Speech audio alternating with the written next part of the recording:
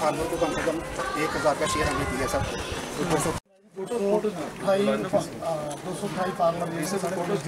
तो क्या हो और, और क्या क्या कर रहे हो? कितने नर्सरी का एरिया कितना है? नर्सरी का एरिया सर थ्री पॉइंट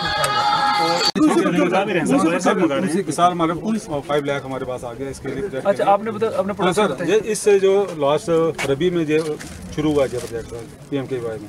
इसमें सर इनकी प्रोड्यूस गार्लिक आठ सौ पहले मैं आपको मैं कस्टमर नंबर वन हूँ। देखो दिक्कत वो आती है। एक एक्सेसिबिलिटी नहीं होती. वो जम्मू जाएगा आपको ढूंढेगा फ़ोन करेगा नहीं मिलता है। मैं बताऊँ ना प्रॉब्लम है। उसको फ़ोन नंबर नहीं मिलेगा वो जगह जगह भागेगा। तो कोशिश करो कि कुछ तैयार करके यहीं पे लेडीज़ को जो लेडीज़ है ना N R L M P पे उनको ही आप एक ऑर्गेनिक का दवाइयों का एक छोटा सा एक छोटा सा एक ट्रेन कराना।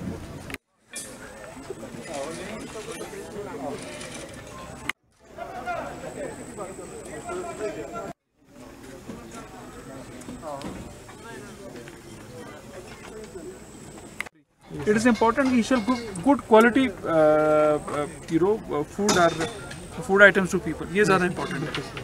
अच्छा ये आप, इसको बनाएँ because you report to secretary तो आप ये लिखें कि जो जिसको भी आउटसोर्स की उसके बेंच मार्किंग की जाए कि उसका इतना टर्नओवर हो जाए। और स्टैंडर्ड्स होने चाहिए कि वो ये ये क्या क्या स्टैंडर्ड हो गए। और लीडिंग चेंज हो वो हो गए। टूरिज़्म के जो सीईओ हैं यहाँ पे पी डी ए के हैं पी डब्ल्यू डी के एस साहब हैं, और तमाम जो हमारे इंतज़ामिया हैं इस चेननी ब्लॉक का जो हमने और इसके जो सब डिवीज़न है, उसका टूर किया, और ख़ासकर इस एरिया में जो डेवलपमेंट के इश्यूज़ हैं, उनका जायज़ा लिया गया। अभी हम जो है वो जो मानतलाई का स्थान है, जो एक बहुत बड़ा योगा सेंटर और एक टूरिस्ट डेस्टिनेशन जो है, वो बनने जा रही है। अभी लगभग सतानवे करोड़ के करीब करीब जो एक प्रोजेक्ट है उस पर काम चल रहा है।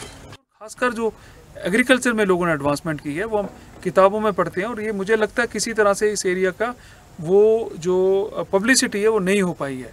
अ, उसको पब्लिसिटी को भी बहुत होना चाहिए। आप हमारा जो स्टेट इंफॉर्मेशन डिपार्टमेंट है यहाँ का मैं उनसे भी गुजारिश करूँगा कि इसकी खूब पब्लिसिटी होनी चाहिए। और यही जो फार्मर्स हैं हमारी जो बाकी स्टेट के जो खत्ते हैं चाहे वो आया कश्मीर हो हमारा जम्मू के अलग अलग खत्ते हैं वहाँ जा